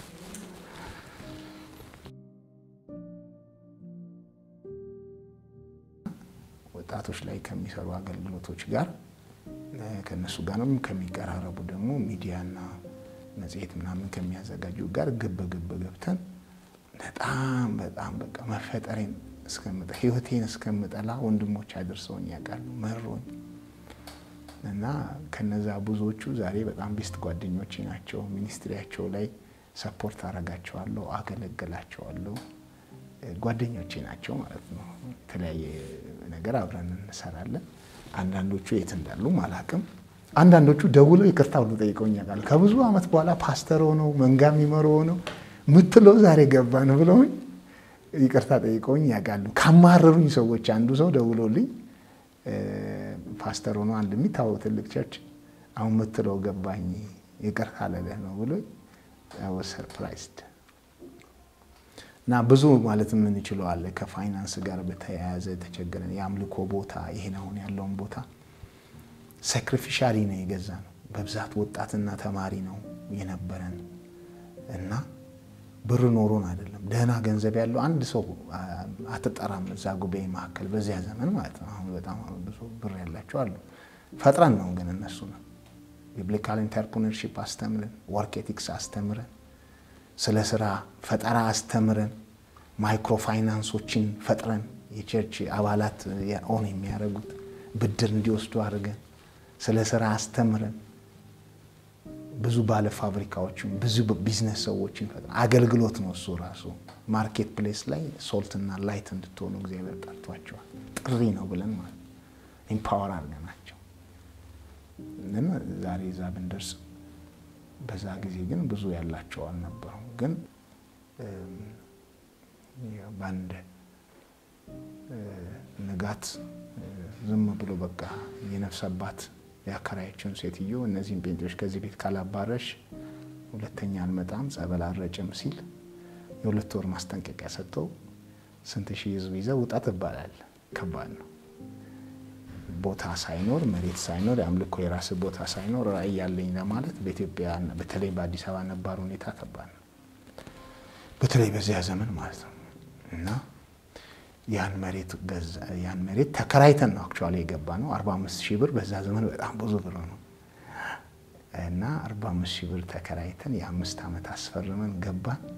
ግን የንግድ ምንድን የግንባታ ፈቃድ ደግሞ አንሰጥም ይሄ ጊዜያዊ ለመስራት ቋሚና በዚህን ያህል ስታንዳርድ ካልሆነ አሉ። አሁን ያለውም ቦታ ያው ልንሰራ እንትን አልን ማለት ነው። ከዛ በቃ እሱንም ለመስጠት ከባድ ሆነ እና ክፍለ ከተማ ጉቦ ሁሉ ጠየቁ ልጆች ለፈቃድ ሲሄዱ ማለት ነው። ሰላሳ ሺህ ብር ስጡን አሉ። ከዛ መጥተው ነገሩን እስኪ ለምንድን ነው ሰላሳ ሺህ ብሩ ምንድን ነው የምታደርጉት? በዛ ጊዜ ሰላሳ ሺህ ብርም ትንሽ ብር አይደለም እና ምንድን ነው የምታደርጉት ብላችሁ ጠይቋቸው። እየቀዱ ጠየቋቸው ሳያውቁ አምጥተው ሰማኝ። በጣም ነፍሴ ተማረረች። በቃ እኔና ስላሴዎች ፈቅደናል ስሩት አልኳቸው። ከዛ በቃ ምንም ሳይታወቅ በሩን ዘግተን ያሁን የምናመልከውን አምልኮ አዳራሽ ሰርተነው ጨረስን ማለት ካለቀ በኋላ ታወቀ፣ ተመጣ፣ ዘራፍ ተባለ። ክፍለ ከተማ፣ ወረዳ፣ ከተማው እስከ ማዘጋጃ ተቀወጠ አልኳቸው። ከዛ በቃ ዶዘር ይዘው መጥተው ሊያፈርሱ እንትን ሲሉ እኛ በፍጹም አታፈርሱም አለ። ይሄ ሀገር የጴንጤም እኩል መብት ያለበት ሀገር ከሆነ second class citizens ካልሆንን በቀር እኔ በሕይወት እያለሁ በላይ ላይ ሄዳችሁ ካልሆነ እዚህ ግቢ አትገቡም አልኳቸው። sacrificially ኮንዶሚኒየም ቤት የደረሳቸውን ክራይ ቤት እየኖሩ እየሰጡ እነሱን ሸጠን ምን ብለን እኔም በቃ ያለኝን ሁሉ መኪና ወደ ሶስት መኪና ስጬ በታክሲ ሁሉ መሄድ በባጃጅ ሁሉ መሄድ ጀምሬ ነበር። እግዚአብሔር ያው መልሶ እንደገና እየሰጠኝ ዛሬም እነዳለሁ እና በጣም sacrificially ከፍለን ነው 18 ሚሊዮን ብር ያን ቦታ የገዛ ነው። ባንክም አበድሮ ሙሉን ከፍለን ዕዳውን ጨርሰን እግዚአብሔር ባርካቸው። ብርሃን ባንኮችን መጀመሪያ ለእኛ ነው ያበደሩት። በእኛ ነው የጀመረው የ church ማበደር። pioneer ነን በብዙ ነገር by the way እና ዛሬ ያ ቦታ በብዙ መቶ ሚሊዮኖች ነው የሚገመተው እና የዘጻት ትውልድ ታሪክ የሰራ ትውልድ ነው እና ቀላልም ከባድም ጥያቄ ነው።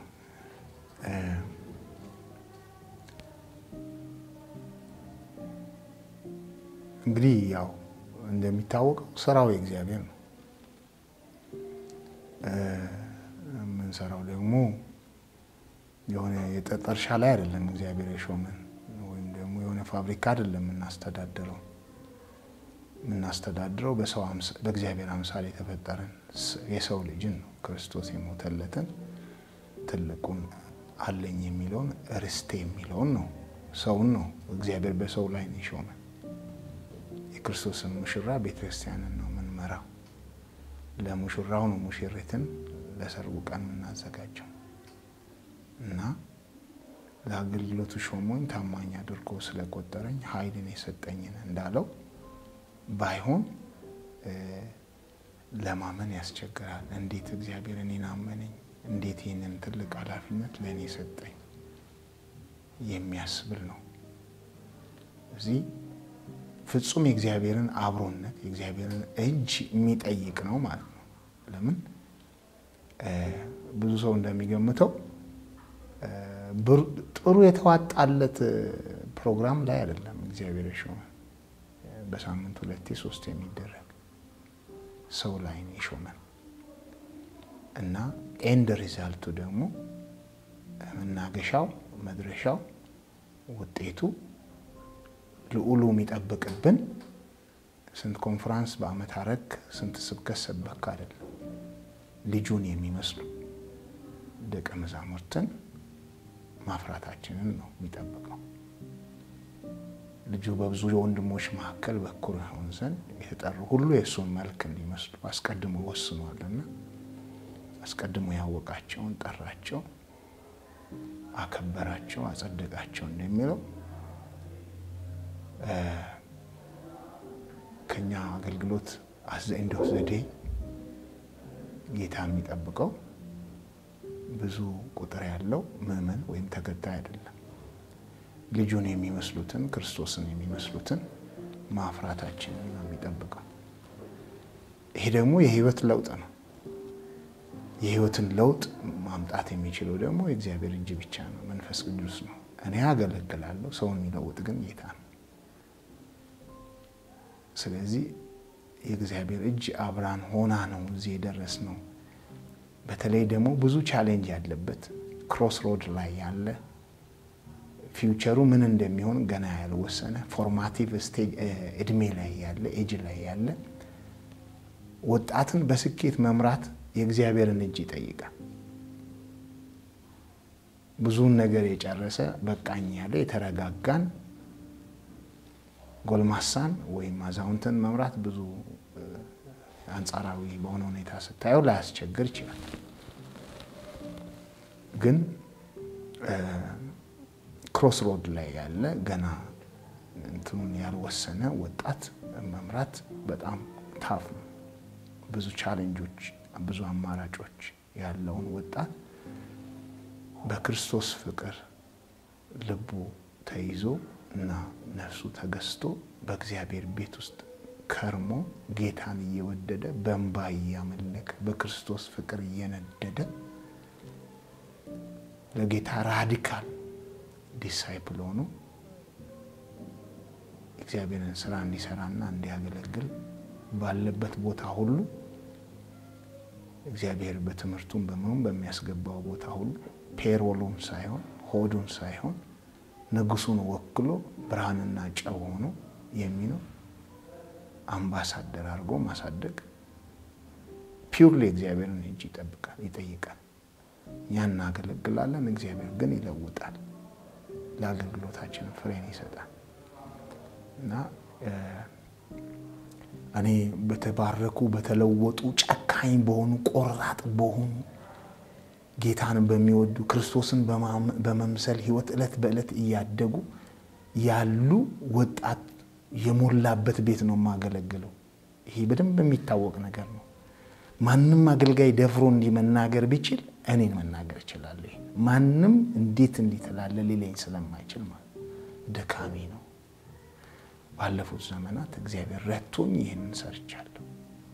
በቀረኝ ዘመኔ ደግሞ ካለኝ experience ውጣ ውረድ wisdom of ages and experience ጋር የተሻለ እንድሰራ ጌታ እንዲረዳኝ እጸልያለሁ እና purely አገልግሎት ድርጅት አይደለም የምትመራው፣ ግን እግዚአብሔር ብርቱ ነው። መቼም አይሸነፍም። አሸናፊ ነው። ሁሌ የታመነ ነው። የጠራን የታመነ ነው። እዛ በዚህ ጌታ ላይ እንደ ነፍሴ መህለቅ ተስፋዎቹ ሆኖ ዛሬም አለው። እግዚአብሔር በብዙ የረዳኝ ሰው ነኝ። እንግዲህ ለወደፊቱ ደግሞ ጌታ ትናንት እንዳገዘኝ ዛሬም ያግዘኛል የሚል እምነት በሱ ላይ አለኝ። አንድ መዝሙር አለ የዘመርኩት ጌታ ተመግቼሃለሁ፣ አንድ ጊዜ አይደለም እልፍ ጊዜ የኔ አድርጌሃለሁ። ፍቅር በጎነት በዛ ምንም እንዳልሆነ ዋስትናዬ በዛ ስንፍና አለናገር አጥሬ እግዚአብሔር ነው ማዳኑ ትላንት ዛሬም እስከ ዘላለም ነው ይላል እና ትላንት ያዳነ እግዚአብሔር ዛሬም ያደናል። ትላንት ከደረሰልን ዛሬም ይደርስልናል። እግዚአብሔር አይደክምም፣ አይታከትም፣ ፍቅሩም አያረጅም። ስለዚህ እንደ ግለሰብ፣ እንደ ቤተሰብ፣ እንደ ወንጌላውያን ኢትዮጵያውያን ወንጌላውያን አማኞች እንደ ሀገር እንደ ኢትዮጵያውያንም ከስንት ከገደል አፋፍ መልሶ እንደገና በምስጋና ያቆመን ጌታ እግዚአብሔር የማዳን አምላክ ነው። እንደገና የሚነካ የሚዳስስ revive የሚያደርግ እንደገናም ዳሰሰው አጥርቶ ማየ እንደሚለው እንደገና የሚነካ ጌታ ነው እና መንፈስ ቅዱስ ስለ እኔ ፓስተሬ ነው፣ አስተማሪ ነው፣ የግል tutor ኤ ነው፣ መካሪ ነው፣ መጋቤ ነው፣ እረኛዬ ነው፣ መሪዬ ነው፣ አጽናኜ ነው፣ ጓደኛዬም ነው። በጣም ማምነው ጓደኛዬ ማለት ነው። ሁሉ ነገሬን የሚያውቅ ልብስ የሸፈነውን ብቻ ሳይሆን የተገለጠውን ማንነቴን፣ ጓዳ ጎድጓዳዬን፣ ብርቱ ጎኔን፣ ደካማ ጎኔን ሁሉ የሚያውቅ ከእሱ የተሰወረ ምንም ነገር የለ። ግን ሁሉን አውቆ ደግሞ ጥሎኝ ያልሄደ ታግሶኝ ከኔ ጋር ሁሌ የሚኖር በርታ፣ አይዞ እያለ ስደክም እያበረታኝ፣ ሳዝን እያጽናናኝ፣ ዝማሬ እየሰጠኝ፣ ለአገልግሎቴ ፍሬ እየሰጠኝ እንዳልኩ በዚህ ደረጃ ማውራው ጓደኛ የሚሆነኝ መሪና አገልጋይ በሌለበት እኔው ራሴ ባሳደግኩት ሕዝብ መካከል ስኖር እሱ የቅርብ ጓደኛ ሆኖ አንዳንዴ confuse ሲሆን ምን ላድርግ ብዬ በአንዳንድ ነገሮች ውስጥ ስገባ መላ እየሰጠኝ ምክር እየሰጠኝ bold እያደረገኝ እንደ አንበሳ power እያደረገኝ እዚህ ያደረሰኝ መንፈስ ቅዱስ ሁሉ ነገሬ ነው። መዝሙሬ ነው። በገናዬ ዝማሬ ነው። ሁሉ ነገሬ ነው። ጠግቤ የማልጠግብ ረክቼ የማረካ የዘላለም ጥጋብ የዘላለም ረሃብ የዘላለም እርካታ የዘላለም ጥማት መንፈስ ቅዱስ ሆይ መንፈስ ቅዱስ ሆይ ዋላ ወደ ውሃ ምንጭ እንደምትናፍቅ ነፍሴ አንተን ትናፍቃለች። ነፍሴ አንተን ትናፍቃለች። በረሃ በምድር ምንጭ በበረሃ ላይ ወንዝ መታረካ ውሃ ያው ንጹህ ውሃ ለእኛም ብዛልና በሙላት ፍሰስና መንፈስ ቅዱስ ሆይና መንፈስ ቅዱስ ሆይና ዋላ ወደ ምንጭ እንደምትናፍቅ ነፍሴ አንተነ ትናፍቃለች።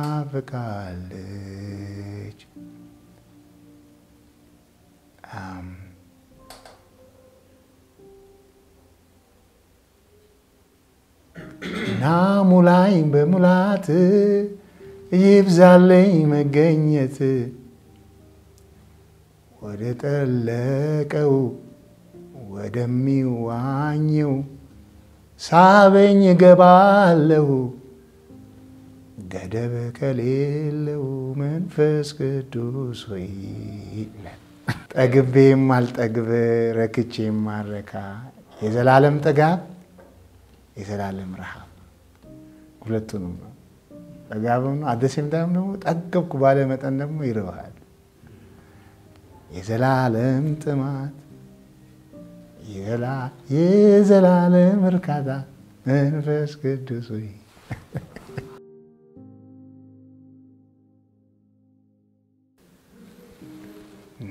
of course በጣም እወደዋለሁ። ህይወቴ ቀኑን ውሎ የሚያድረው በሱ ፍቅር ነው፣ ለሱ ባለኝ ፍቅር ነው። ምድር ላይ መኖሬ ራሱ ትርጉም የሚሰጠው ደስ የሚለኝ ኃይል የማገኘው energy draw የማደርገው ለሱ ካለኝ ፍቅር ነው። አለኝ የምለው ሀብቴ ንብረቴ ኢየሱስ ነው። ምንም ነገር የሚደንቀኝ ነገር ምድር ላይ የለም ብልህ ማጋነን አይሆንብኝም። የሚያውቁኝ በቅርብ አብረው የሚያገለግሉ ሰዎች ውዷ ባለቤቴ ሚስቴም ልትነግርህ ትችላለች። ምንም impress የሚያደርገኝ ነገር ያለኝም የሌለኝም ነገር impress የሚያደርገኝ ሰው አይደለሁም። በቃ እኔ ያ encounter ካገኘኝ ጊዜ ጀምሮ እንዲህ አይነት ሰው ሆኛለሁ። ማለት አንተ እኮ የሆነ ክብር ስታይ እኮ ሌላውን መናኛ ነው የሚያደርግብህ እና ምንም አታስደንቀኝም። እኔ ምንም ሰጥተህ አታስደንቀኝም። አመሰግንሃለሁ ስለ ስጦታህ ግን አታስደንቀኝም። ለምን የተሻለ ክብር ያየው ሰው ስለሆንኩ እና ጌታን እወደዋለሁ። በጣም ነው የምወደው። ህይወቴ sustain የሚያደርገው በሱ ፍቅር ላይ ነው። ለሱ ባለኝ ፍቅር ነው excite የሚያደርገኝ የሚያስደንቀኝ፣ ነገን ሳስበው ደስ የሚለኝ ሌላ ምንም ነገር አይደለም። በቃ ጌታን የምወድበት የጌታን ፍቅርና ቸርነት መልካምነትና ምሕረት የማይበት አንድ ሌላ ቀን ነው ብዬ ስለማስብ እና ብኖር ላንተ ብሞትም ላንተ ከፈቃድህ ስር ይሁን መቃብሬ፣ ከዚህ ሌላ ህይወት አይታየኝም እኔ ብዬ እንድዘምር መቼም ሰው ካልተነካ ዝም ብሎ እንደ ስንኝ ልቋጠር ብሎ እንዲህ አይነት ዝማሬዎችን አይዘምርም። ከ encounter የሚወጡ መዝሙሮች ናቸው መዝሙሮች ሁሉ ማለት ነው። እና ደስ የሚልህን ስጦታ ራሴን ላድርግ ልህ ጌታ ደስ የሚልህን ስጦታ በእጅ ያለኝን ጌታ ራሴን ላድርግ መስዋዕት ከሁሉ በላይ የምሰጥ ኑሮህን በእኔ ኑር ካሰብከው የሚቀር አይኑር በአንተ መኖር ያሰብከውን መኖር ኑሮህን መኖር መርጫለሁ። ብኖር ላንተ ብሞትም ላንተ ከፈቃድህ ስር የሆነ መቃብሬ ከዚህ ሌላ ኑሮ አይታየኝም። እኔ ይህ ለእኔ ግጥም ችሎታ ስላለኝ አይደለሁ አይደለም። በቃ እኔ ከነፍስ ጭንቀት ውስጥ ተጨምቆ የሚወጣ ዝማሬ ነው። ከተነካሁት መነካት የምለውን ሳጣ ነው መዝሙር የሚወጣኝ። ቤስት የምላቸውን ቃላት መርጬ የሚሰማኝን ስሜትና ያለሁበትን ስቴት የምዘምረው ማለት ነው። በጊዜው በሁኔታው በተነካውበት አቅጣጫ ማለት ነው እና ዝማሬዎቼንም ስትመለከት የመውደዴን ብዛት የፍቅሬንም ብዛት በውስጤ ያለውን የንዳዱን ብርታት የማረከኝን የተረታሁብህን የተረታሁልህን ልገልጠው አልችልም። አንተ ያረከኝን እና አሁንም ልል የምችለው ያው ልገልጠው ማልችለው ፍቅር አለኝ። አሸነፈህኛል፣ እመሰክራለሁ። ጌታ አፌን ሞልቼ ይህን እናገራለሁ። ያንተ ፍቅር ውስጤ ያለው እየጨመረ የሚሄድ ወንዝ ነው። አሁን ሳየው ይገብቶኛል። ለካስ የማልወጣው ነገር ነው የያዘኝ እና ምልህ አለኝ የምልህ ቋንቋን አጥቼ ያኖርኩልህ እዛ ሰው ምን ይሆን ይሄ ነገር ቃላት አግኝቼ መጥቻለሁ ስትል ሰው okay ምን ይሆን ብሎ ስትጠብቅ ያው ኢየሱስ እወድሃለሁ። ከዚህ ሌላ ምን አለ? እና አሁንም ኢየሱስ እወድሃለሁ ነው። አንድ መዝሙር አስታውስኝ ያንተ ነው እና በጣም ወደው ላርቅ አልፈልግም። ከአንተ ከአንተ ወዲያ አባት ላውቅ እኔ ቢኖረኝም ጥሩ አባት ማለት ነው፣ ግን አልቲሜት ፋዘር እግዚአብሔር ነው። የአባቴም አባት የኔም የልጁ አባት እግዚአብሔር ነው። አዘንደ ዘዴ የእናቴም አባት እግዚአብሔር ነው። የሁላችንም ምንጭ እግዚአብሔር ነው። ሰማይ ስንሄድ ብዙ አባቶች ሳይሆኑ አንድ አባት ነው ያለው። የአባቶች ሁሉ አባት ሁሉ የሚሰየምበት ከአብ ፊት እንበረከካለሁ አለ ሁሉ ከሚሰየምበት እና ይሄ ስለገባኝ የእግዚአብሔር አባትነት በጣም ስለነካኝ ከአንተ ወዲያ አባት ላውቅ አልሻም እኔ ከአንተ ሌላ ወዲያ ወላጅ ላቅ አልሻም እኔ ጥሩ ወላጅ ነው ያለኝ አላስመረረኝም። እንዲህ አርጎ ያሳደገኝ የእሱ contribution በህይወቴ ቀላል ዛሬም ቢሆን በጣም respect የሚያደርገኝ አባት ጌታን ያሳየኝ ሰው እና ከአንተ ሌላ ወላጅ ላቅ አልሻም እኔ ከአንተ ወጥቼ መጥቻለሁ። ለምን ያው ቃሉ ሲናገር ዓለም ሳይፈጠር በፊቱ ቅዱሳንና አለነውር እንሆን ዘንድ መረጠን ይላል። እኔ በድንገት አይደለም church መጥቼ ጌታን ስቀበል አይደለም። ይህ ደግሞ ማን ነው? እስኪ እባክህ ጌታን ተቀበል የኔ ሆነ ያለው ከእግዚአብሔር ለወላጆቼ የተሰጠው ስጦታ ነኝ እንጂ ከወላጆቼ ወደ እግዚአብሔር አይደለም የመጣሁት እና ያን ማለት ከእናቴ ማፀን የመረጠኝ እንጂ ደማስቆ መንገድ ላይ አላለም። ጳውሎስ እንኳን ቆይቶ ሲናገር ከእናቴ ማፀን የመረጠኝ ነው ከአንተ ወጥቼ መጥቻለሁ፣ ወደ አንተም እሄዳለሁ። ጅማሬ አንተ ነህ፣ ፍጻሜም አንተ ነህ ይላልና ሌላ ላቃልሻም